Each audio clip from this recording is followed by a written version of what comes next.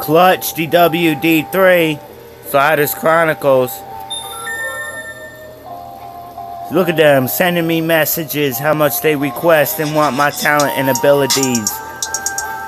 I could be cool like Tom Cruise or Jason Bourne, but your reality is seem to be bending in between despicable me and you playing Russian roulette with your life. But how dare you not consider the passion in life? And all you girls that sleep around should know that sometime you might sleep with the wrong one and get your life basically running backwards in time.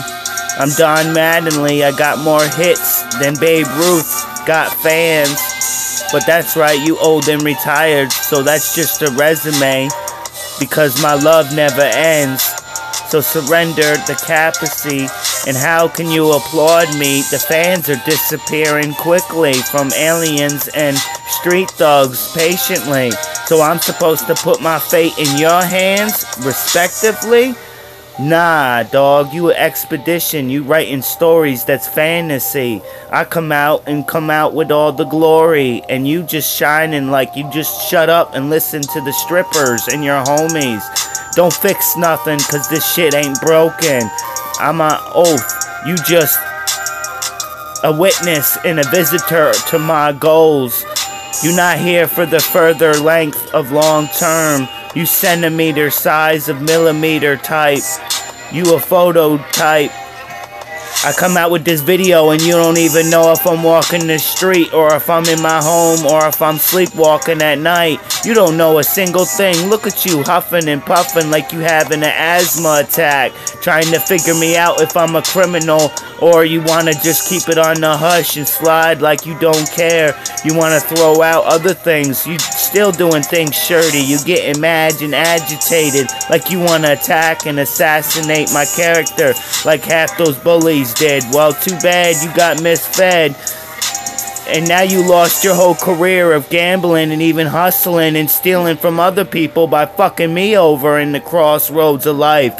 You want to take my life? You on suspect of something and your homies in jail waiting for you to come in. How you attack somebody that ain't even party with you, kid? You gotta make up fake identifications and try to hold a person in entrapment like you a different woman but on the request i said the only way i could do this thing is if you my own age or over 21 so you did not listen so how about that, you fucking flabbergasted idiot? Well, you so stupid you can't even want to know uh, extra math and keeping homies alive? That means you make more bags and more drunk and more bottles and more girls.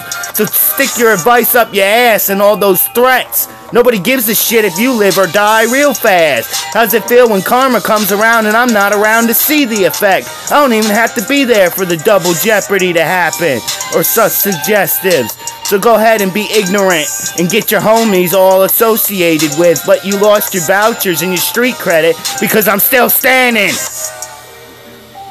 You didn't defeat or beat my ass, so go ahead and spread the knowledge and the weak shit to your friends. But it makes no sense because they had to get the message from the source, and your ass is lying. So why don't you get your ass beat by your own women that you want to make threats and want to rape? I ain't afraid to say what you say to your fucking face out in the public that you said behind my back. Nah.